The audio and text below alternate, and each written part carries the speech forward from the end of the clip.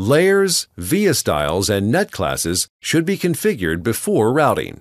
You can use Add Layer button or select Insert Layer item from the right-click submenu. DipTrace allows you to create signal, plane, or custom non-signal layers. Enter name of the layer, select its color, type, signal or plane, and connect corresponding net. Plated hole dimensions can be specified as well. We create two plane layers for power and ground.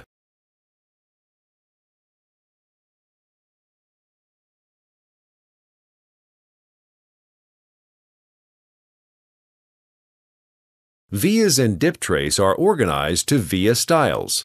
You can create as many of them as you need.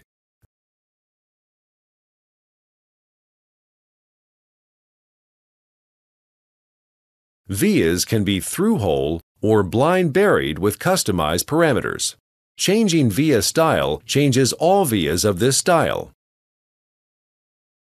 You can create net classes to organize nets.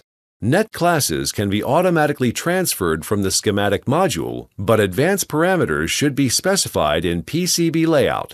To add a new net class, press corresponding button and enter name of the class, specify trace width, clearance, and clearance details if you need.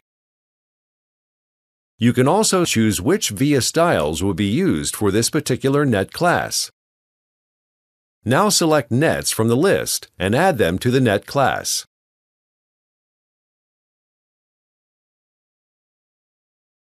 Create another net class.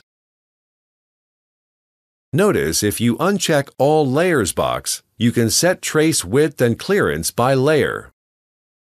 In Auto Routing tab, routing layers for each net class can be selected.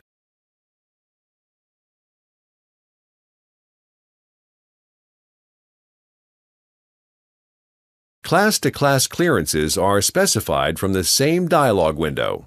Clearance value can be different for each layer.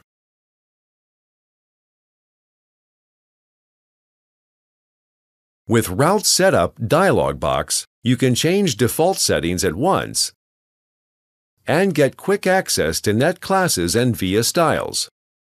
Here, you can also change manual routing parameters.